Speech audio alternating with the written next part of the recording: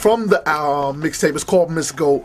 And when you hear the track, for all my throwback cats, when you hear the track, you're gonna know what it is. All right. Yeah, a lot of the ideas on the mixtape was came from Mister Cee himself, and my everybody here is like a big family, and we just been banging out song after song, and it was a lot of songs. I was like, "You sure see that's gonna work?" He was like, "Trust me."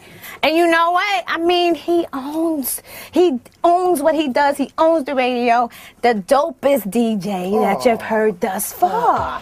I got my boy Mister Cee right here. He been holding it down since big days. He's the, he's part of the family, so I felt like it only made sense for us to do the mixtape with my boy.